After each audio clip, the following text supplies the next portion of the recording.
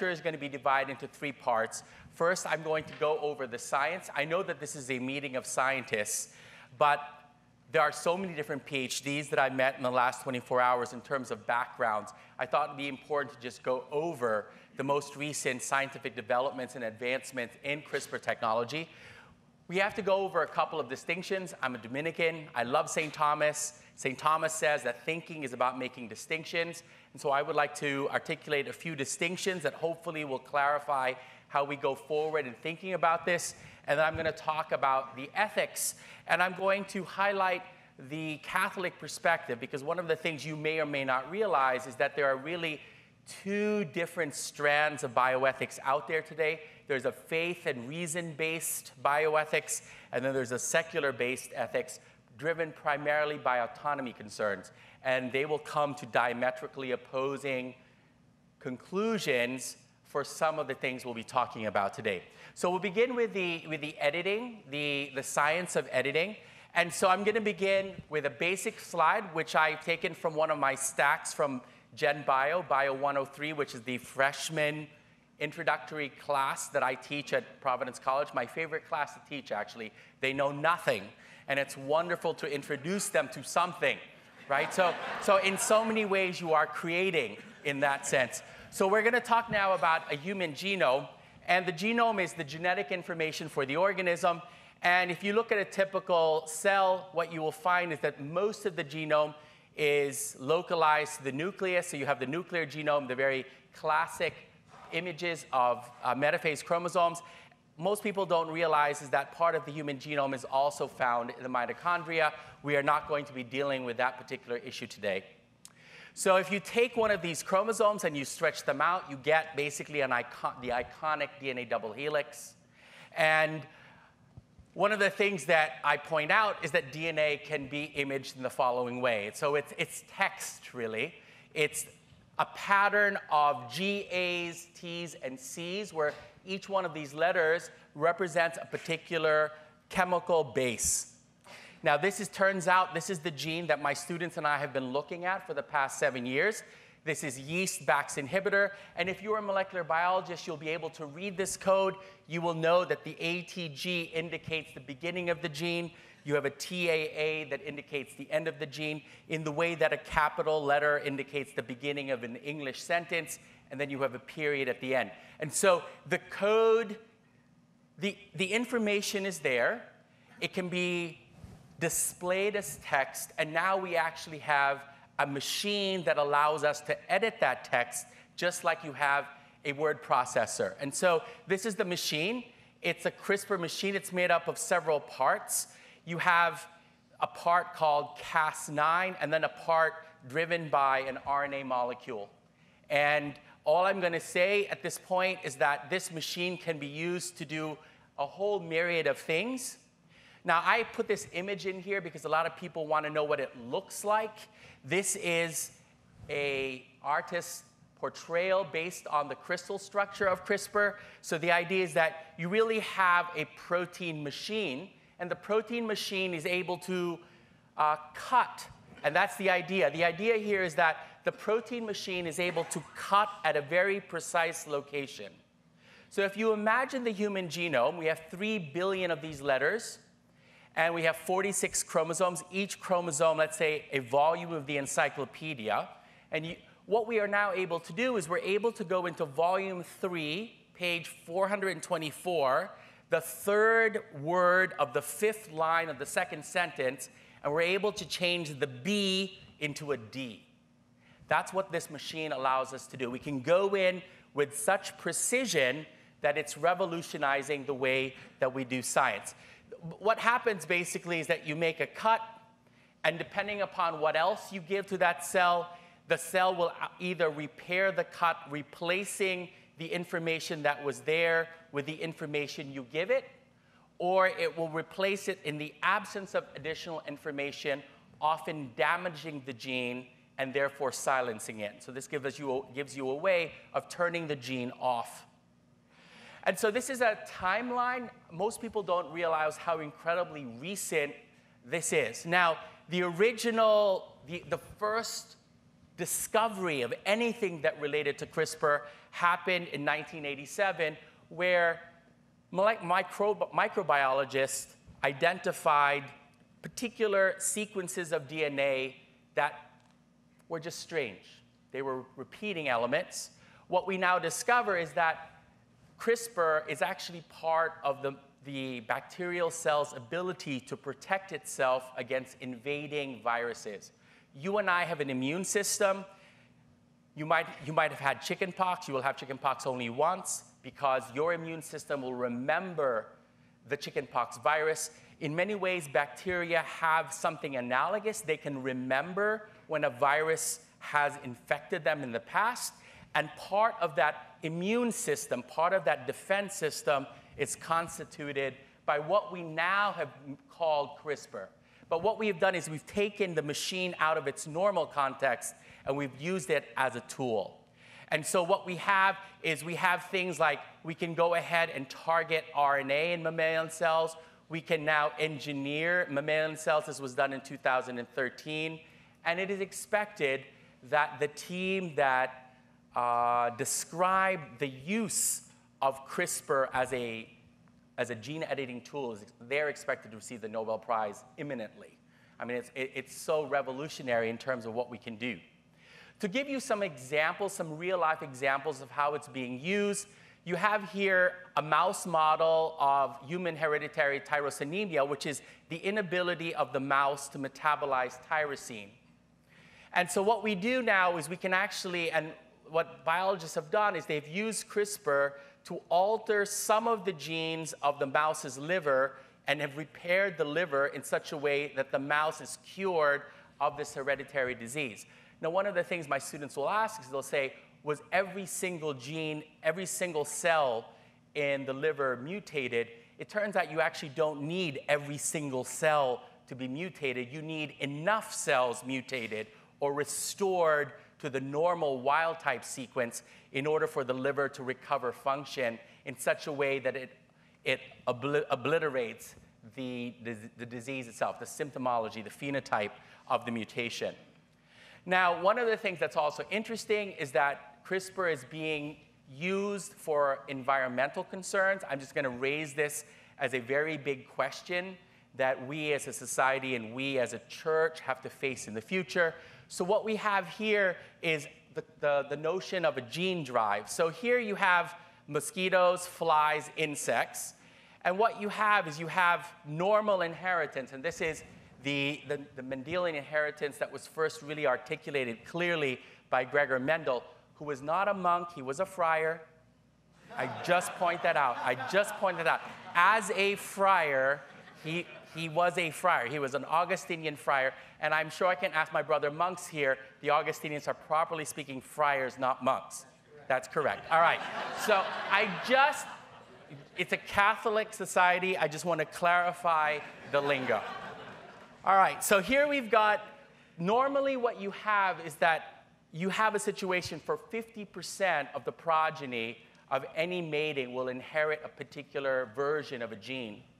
What we can now do is that we can set up the gene so that it is accompanied by the CRISPR machine so that once it is introduced into an animal, the other copy, I just remind you that each of you has two copies for most of the genes that you carry, one from your mother and one from your father.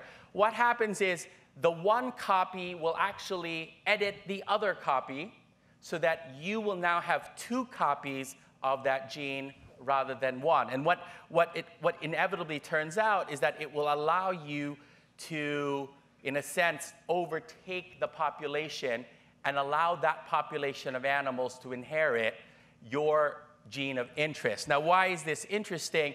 This is interesting because what you can do is you can use the CRISPR machine to make animals sterile.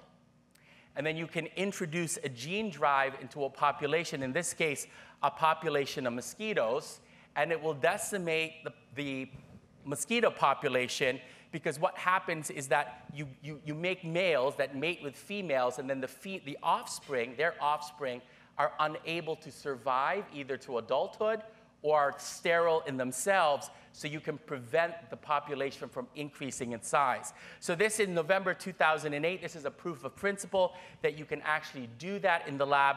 Now it's interesting because there's a company, Oxitec, that has actually used gene drives. They used it in Brazil, in the Cayman Islands. They're not using genetic gene drives. They're, they're, they're, they're not using CRISPR per se. They have a slightly different technology, but it's able to suppress the mosquito population in these islands. Now, and the question that, we, that bioethicists are asking themselves is, what are the ethics of eradicating an entire species of mosquito? Now, keep in mind that we're not talking about eradicating all mosquitoes. There are 3,000 biological species of mosquitoes. The, the, the, talk here is to just eradicate one species, Aegypti, which is associated with Zika virus and a whole bunch of other human pests. Uh, what does that mean? I have students who say, absolutely not. And I say, well, we've already done it once. We don't have smallpox. So we've already eradicated one particular species. I'm putting that in quotation marks because we're dealing with viruses here. But one particular kind of species, we've had no problems uh, eradicating smallpox. What were the similarities and differences with regards to uh, eradicating Aegypti? You also have very recently, a couple of months ago, the development of the CRISPR-Cas gene drive, this time for mice. The idea here is what we would use this to, for rodent control. So now instead of having uh, pesticides that, and this is the argument, instead of having pesticides that chemically pollute the environment, we could use this genetic technology to eradicate the same population of rodents in a way that minimize the, uh, the harmful impact on the environment. Now, with humans, you have two basic types. This is one of the distinctions that I'm just going to uh, echo later again. You have in vivo editing, and here you take the CRISPR machine and you introduce it directly into the human being. And you have the editing happen within the human body.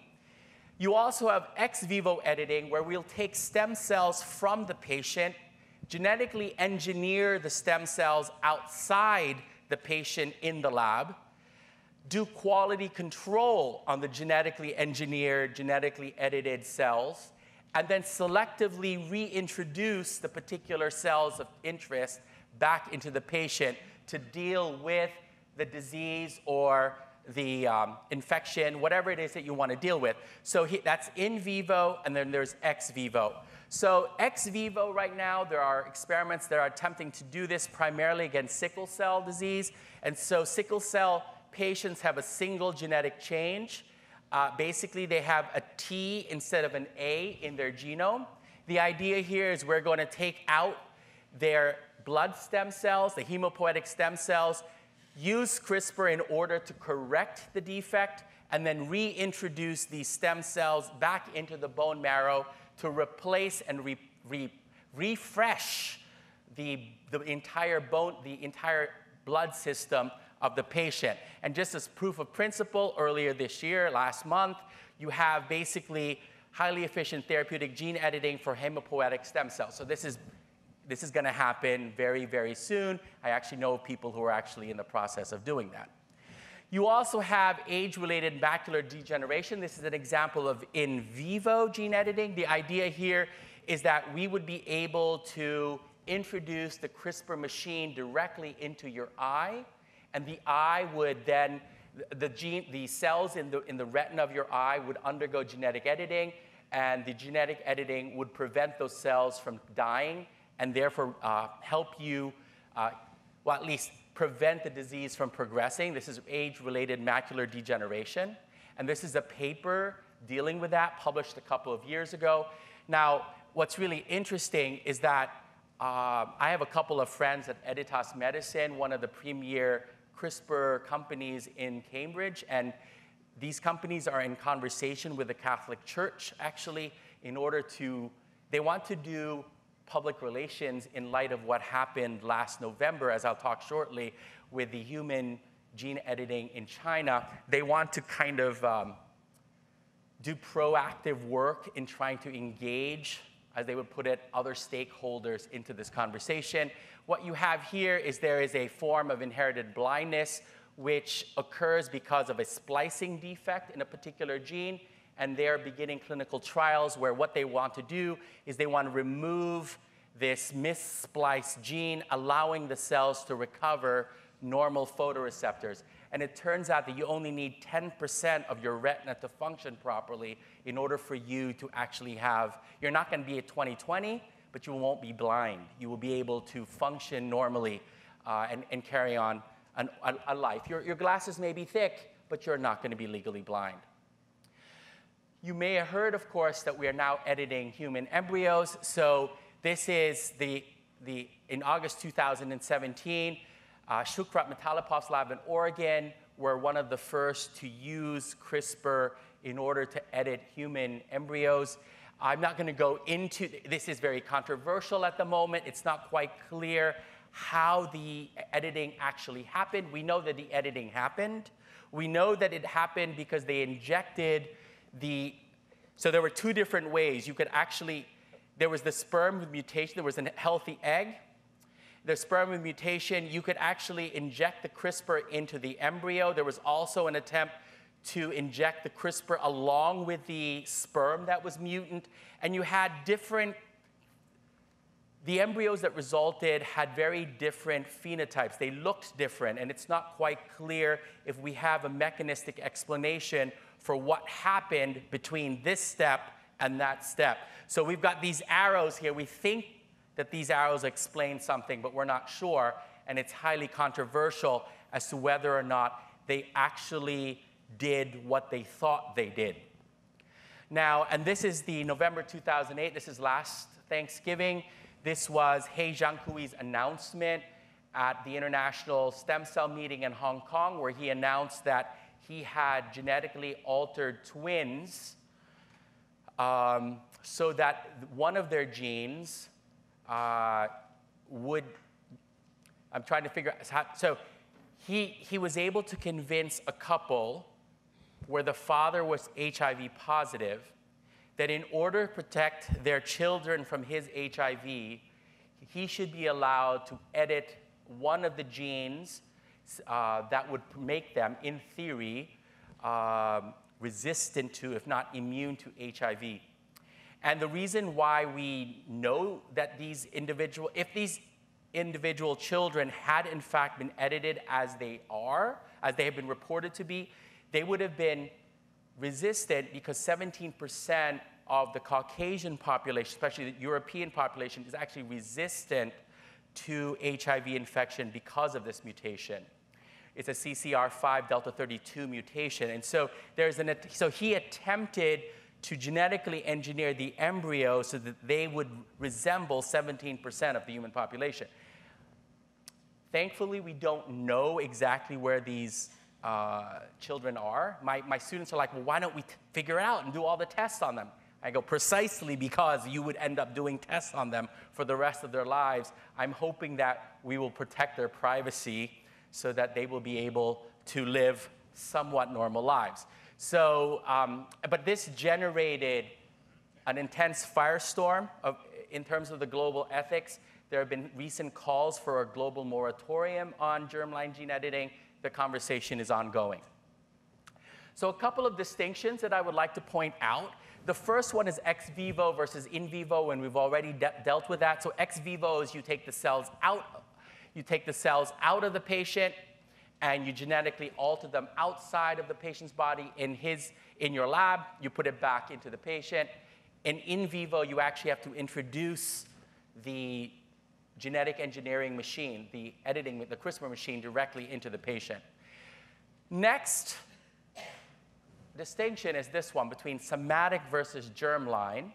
And this is actually the discussion that is going on in the Catholic Church at the moment with regards to somatic versus germline therapy. So, somatic therapy is basically so we have ex vivo somatic therapy, we've just talked about that, where what you're doing is you're altering the patient's cells outside of his body. There is in vivo somatic therapy where you're altering the patient's cells inside his body, but these cells are not the reproductive cells. And that's the real difference. So, somatic cell gene therapy involves editing every single cell other than the cells that give rise to progeny, and that in our species involves the sperm and the egg.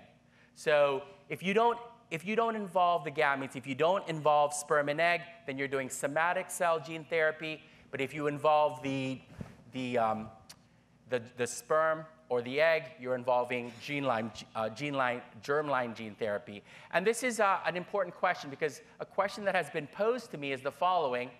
If we develop somatic editing gene line, uh, somatic editing therapy, in theory, we would not need germline gene editing because we'll just fix it when the kid is born.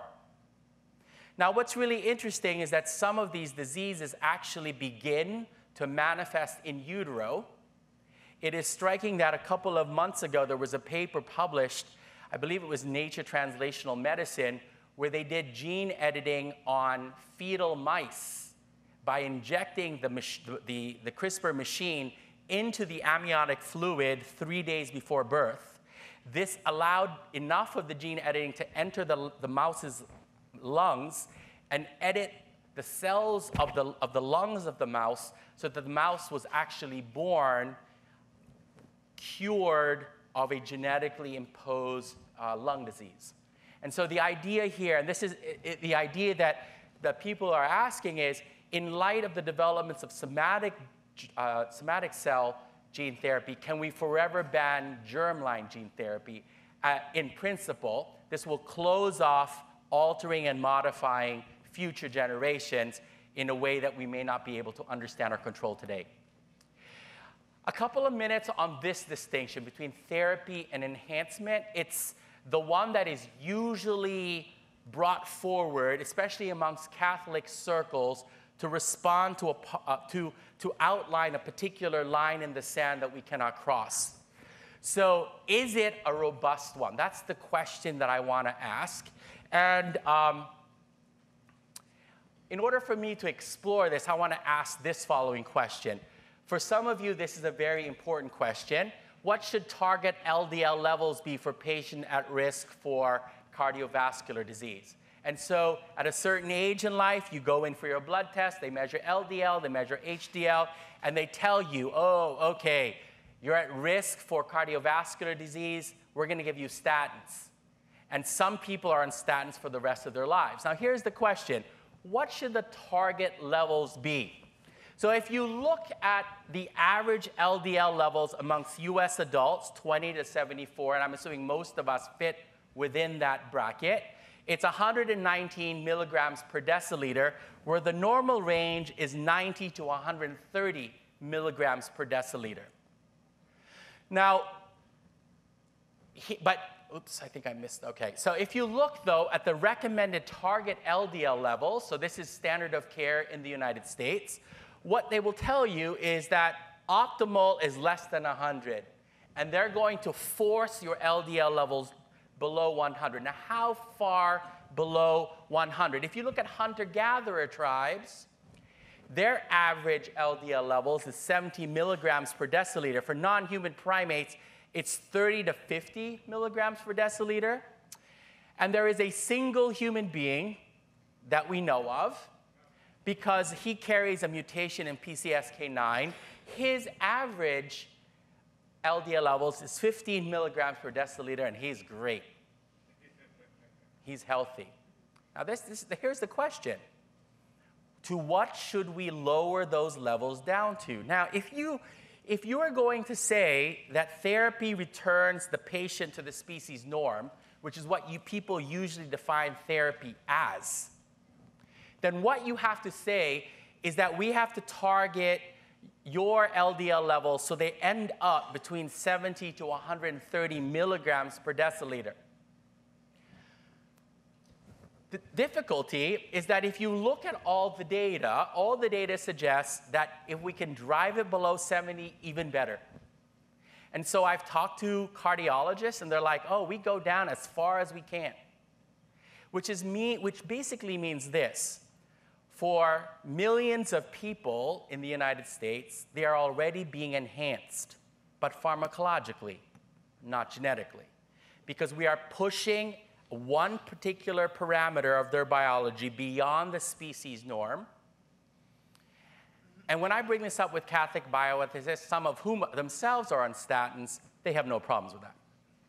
So clearly, therapy versus enhancement cannot be as robust a distinction as we are making it out to be if we are already violating that as an ethical norm in contemporary practice in medicine. And if we can do that pharmacologically, the question is is there something inherently different doing it genetically versus pharmacologically? I don't think there is, because I think we're just changing the human being. So we should, and so this is the standard of care, right? So we should lower the LDL levels even beyond the species norm to preserve and protect human health. And so I am proposing, I've actually written this up already, that the therapy enhancement distinction is not as robust as we make it out to be because there are therapeutic enhancements that promote the human good of health.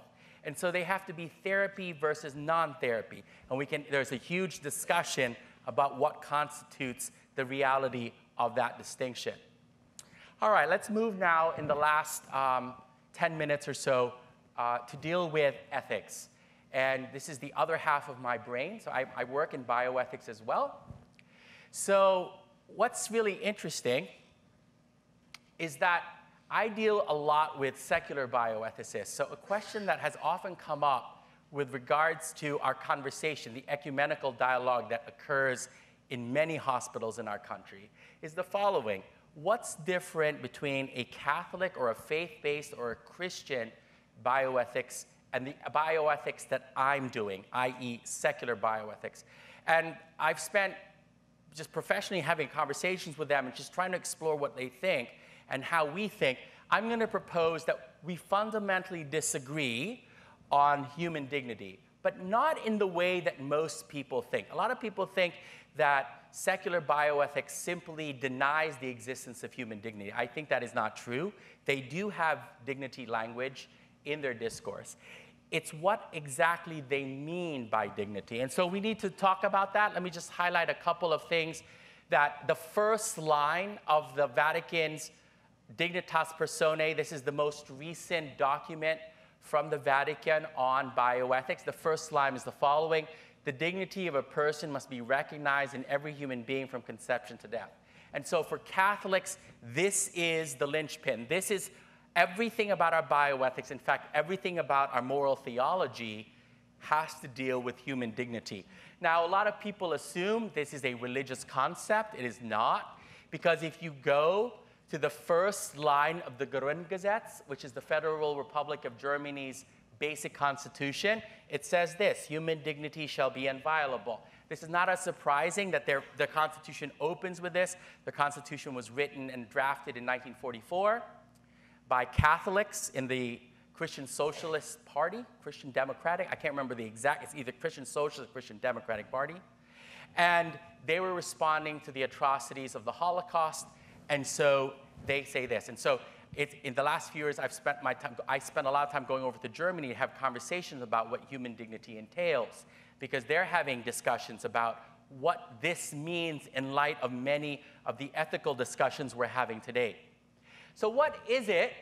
And what I do when I teach this in class is I say, look, it's an answer to this question how much are you worth? And in order for me to illustrate the difference between how a Catholic bioethicist and a secular bioethicist approaches this question, I have to ask you this question How much is an iPhone 7? And I have, because I'm working in my class, I have to specify. They'll say, Father, how big? Uh, memory. 32, 32G, right? So I'm specifying the model. So it's iPhone 7 32G. How much is, is it worth? Now, if I ask that, my students would be up there. They're like, depends on where you buy it, Amazon. Okay, now it's interesting because if you look at the value, if you Google this, they will, they will talk about two different numbers. This is called the teardown cost. So when Apple's competitors get the newest model of the phone, they break it down and they figure out how much does it cost to put it back together again. So if you if you had all the parts and you how much did just the parts and everything come together?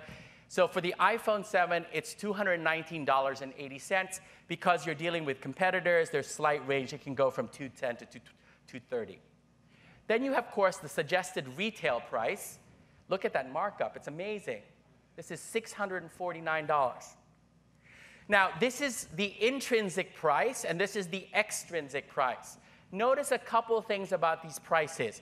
This price doesn't change. That price, that price is tagged to that gadget the moment the gadget is made, and that is the price of the gadget all the way through its lifespan until it is dismantled. This price, hey, it's the day after Thanksgiving. That price is going to be different. You're going to go Amazon versus Apple. The price is going to be different. So this price doesn't change. This is, varies depending upon all sorts of circumstances. This is the question. Many faith based traditions will say that you too have these two dimensions. You have a, an intrinsic worth and an extrinsic worth. And so the idea here is that the intrinsic worth is the inherent worth of the human person. And when I ask my students, how much do you cost? They'll look at me and go, How much does your mother think you cost? And they'll say, Father, we are priceless. This is exactly the intuition that the Catholic tradition and many Western faith traditions hold to. It's interesting. I grew up in Bangkok, Thailand. The Buddhist tradition does not have this intuition at all. Because if the mosquito is worth as much as you, because you could be a mosquito or you could have been a mosquito, then, and we clearly have the value of a mosquito very different from the value of you, there is no inherent value of you that will specify you or denote you as a priceless individual. Now, you also, of course, have an extrinsic dignity. This is how much you are worth. Well, depends. You, your salary, your net worth. Some of us have more social worth than others. You have celebrity, right? So, I mean, the Kardashians, you look, if you ask them, what is their extrinsic dignity, their social worth? They have a lot. And then my students will say, Why, Father? I go, I don't know. you know, I, it, is, it is one of the strangest things to me that hu- the human beings who don't do anything are worth so much. I mean, it, I think it's a, it's a reflection of our culture. So, what happens is that they have extrinsic dignity, we have intrinsic so we, we claim an intrinsic dignity and an extrinsic dignity. What I've discovered when I've talked to my is notice, notice, right? Intrinsic dignity is not earned or bestowed, it is acknowledged and recognized. That's how much an iPhone 7 is. It is absolute. You cannot have half your worth because there's no such thing as half of an iPhone. The iPhone is one iPhone, it's always an iPhone. So there's no such thing as partial intrinsic worth. There's no partial intrinsic. You can see that this is the account that undergirds the pro life commitments of the Catholic Church. From conception until you got together, until you are broken up, death, you have a value that never changes. It doesn't matter what the heck is going on in the market, this is your value. There are other values you have as well, but this is the thing that we're going to protect. So, what's interesting for Christians is that intrinsic dignity is grounded on two claims. The first claim is you heard all throughout the morning, the Imago Dei. If God specifies the hierarchy of value, and we are made in his image and likeness, and he is infinite value because we look like him, we are him uh, by participation, then what happens is we, are, we also have infinite value. This is a theological claim. But there is also a, and now I didn't bring it up, there's also a philosophical claim, and this is it. If you ask yourself which is more valuable, spirit or matter, there are arguments for claiming that spirit is more valuable than matter. So, if, as there was discussion this morning, we have an immaterial component to us, there is a philosophical foundation for the intrinsic claim, for the, for the claim that we have intrinsic value, that we are worth so much more because we are spiritual. Now, you will notice our bioethics will say that we have to defend both intrinsic and intr- intrinsic and extrinsic accounts.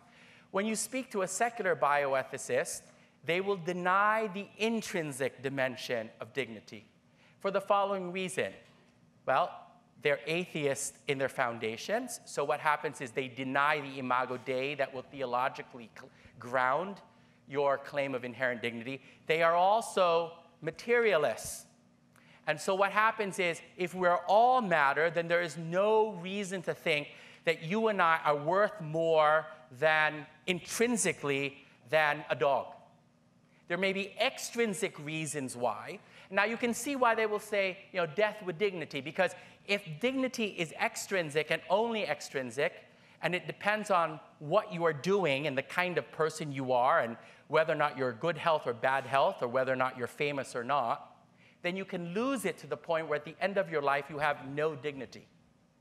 So that's what they've got. They only have extrinsic dignity. What they end up doing is so they will talk about preserving extrinsic dignity. So they have to make sure that extrinsic dignity, and this is all the trappings, the accidental trappings of the human person, especially within a social context. What you do, how much you mean to people, your ability to choose, your ability to choose autonomously, all of this is important because this is the only source of dignity that you have. So when we talk about CRISPR and human genome editing, we have to talk about those questions. We have to talk about dignity concerns we have to ask ourselves now, when I talk to my colleagues who are secular bioethicists, they will say it's all autonomy concerns. So it's who gets to decide the question. So if I get to change myself, I should be able to do that because it's all autonomy concerns. Dignity concerns will talk about not about what you choose to do, but whether or not the choices that are being made infringe upon, diminish, undermine in any way intrinsic or extrinsic dignity. So there are four categories, four bins for dignity concerns that uh, my colleagues and I have identified in the Catholic tradition. I just like to highlight some of them. So, and as, as you can see, they all deal with persons because intrinsic dignity is a property properly uh, predicated of persons, not of things. So you've got the safety the commodification, the marginalization, and just access. So, with safety concerns, and this I think there is, there is uh, concurrence between my colleagues from the secular bio, bioethics tradition and the Catholic tradition. We just have to make sure that the technology is safe. There are two primary safety concerns right now off target mutations. You have that encyclopedia of information, you want to change a single letter how do you know that you're not messing up any of the other letters in any of the other pages in any of the other books? And, and the, the CRISPR companies, and there are also other academic labs around the world, are attempting to at least, if not prevent it from happening, from identifying it when it happens so you can cull the products that you don't want. There are chimeric issues, tissues. These are where some of the cells in the organism have been genetically altered and some have not. What are the safety concerns of that, of that type of, of technology? Commodification. So, this actually is especially important in the context of Catholic bioethicists. Bioethics, when I speak to my secular colleagues, they have some concern about this, but it's really interesting. What they're mostly concerned about is others commodifying you they actually will allow you to commodify yourself. It's in, so, and, and you know, our students, and even at Providence College, if I ask them, how many of you should be allowed to sell yourself into slavery to allow you to, to raise funds to save your mother who's dying from cancer? All of them. They're utilitarian through and through. I'm like, but didn't we fight a war over this question? But they said, mm, they didn't know. It's a very interesting. people, many of our students are not sure why slavery is a problem unless you decide it, right? So you can sell yourself into slavery. So one of the concerns, persons are treated as a means to fulfill the desires of another. I want my kid to be the next Charles Barkley. So what I'm going to do is I'm going to genetically engineer my kid so he fulfills not his desires but my desires. So then what happens is he is a means of fulfilling my dreams, not necessarily his. And it's interesting because I have students who will say, but my parents are forcing me to become a doctor. Is that not commodification? And I want to go, oh, I don't want to say anything at that moment because I don't want to insert myself into that. But I point out that one of the things parents can do is they can, they can discern with you looking at your gifts and your talents and your interests and invite you into the conversation. And I say, go back and ask them if they would be willing to do that. It's a little tricky because um, you know, it's a freshman bio class or a freshman ethics class. So you're, you're trying to be very careful, otherwise you get the dean calling you up. Um, the next thing, these is especially within the Catholic tradition, the concern with artificial reproductive technologies and IVF is we commodify uh, human beings by manufacturing them in the lab. Notice what happens here is that the persons are made not as imago Dei, though by nature they're imago Dei. What's happened now is they're made in the image of another, usually the person who has chosen the traits to give to uh, his or her child. Now, in marginalization of persons, the concerns are the following the exacerbation of social divisions and inequalities. I had a student say once, Father, I know what's going to happen. A hundred years, we'll be able to, to see all the Catholics. I go, why? They're all the ugly ones. you know, and the idea here is that everyone is going to commodify and genetically engineer their kids, especially those who are rich. And so the, the ones who are all natural, like the organic versions, they're all going to be ugly, religious, and poor. It's really striking, but you have this perception. And the idea here is that these will make worse the already existing social divisions and inequalities that we're experiencing in society. And of course, you always have the eugenic temptation society, and this is another means of trying to realize that. Finally, and especially in the pontificate of Francis, you know, I highlight that no matter what this technology eventually does, it has to be able to address the poor. So when I go off and talk to these stem cell company, these, well, they're, it's these CRISPR companies, I always tell them, look, I don't use uh, Catholic social teaching, I use CSR, right? Corporate social responsibility. How are you going to make sure that your technology will be accessible to those who are not going to be able to afford it? And so, and this is, I think, the Catholic, one of the things that the Catholic Church must consistently remind technology and especially companies is that they have a responsible and there's a preferential option for the poor and the vulnerable. So, uh, ethical guidelines, just to conclude, it's two o'clock. So, what you have is, in principle, somatic cell modifications for therapeutic reasons, including therapeutic enhancements, could be morally justified on a case by case basis. This is just a general framework. Germline modifications for therapeutic reasons could be morally justified. The idea here is if it's good enough to cure you, shouldn't it be good and even better to prevent you from getting sick at the beginning? The standard account here is the Immaculate Conception, the Mother of God, um, singular grace, she's preserved from original sin. Now, the again, the means were the same through the merits of her son. We too will be restored to life in grace, and one day we will have bodies that will allow us to visit Sagittarius A star. But at, you know, and, and that, that, will, that change is actually something that will occur uh, because of the merits of her son, but it's already happened to his mother. And so if, if, if we see the value of the Immaculate Conception, if we see the value of how her being preserved from any taint of sin is superior to us who are healed of sin, then can we take that same principle and apply it to therapy? And this is really where the debate is at the moment, honestly, because there are people who are saying that the germline is sacrosanct in some way. And I, it, when I push them on it, they're not quite sure, but it's really special. We are playing God if we alter the germline. I point out that we do this all the time. When you smoke, you're altering your germline. There are, there are effects of how we eat, especially now in light of epigenetics. It's clear that the granddaughters of obese fathers are themselves prone to diabetes precisely because of the eating habits of their grandfather. So it's really interesting that you have these kind of effects. Um, but I also point out that germline modifications for non-therapeutic reasons could never be justified. This is the hardcore enhancement account where I'm going to give you, I'm going to enha- enhance you. My students will say, well, what does enhancement do? Enhancement increases your or your family's opportunity. There's if you can identify opportunities why this change will make it, your life better, then that's an enhancement.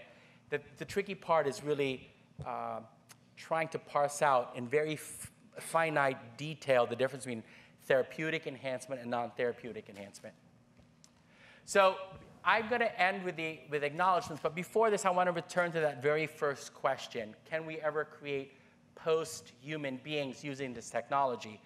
And it, I, I decided to just kind of link my talk to some of the earlier talks.